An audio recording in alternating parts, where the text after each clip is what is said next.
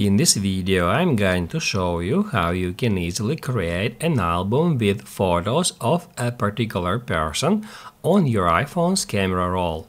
Be sure to watch the video to the very end so you don't make any mistakes and of course do not forget to like this video and subscribe to my channel. Thanks guys. So let's get started and first off open up Photos app and then tap right here to head over to albums.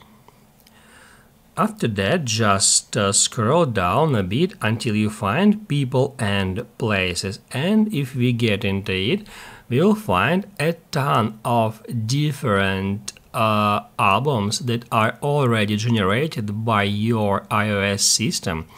These albums are auto-generated albums and each of them contains all the photos of a particular person.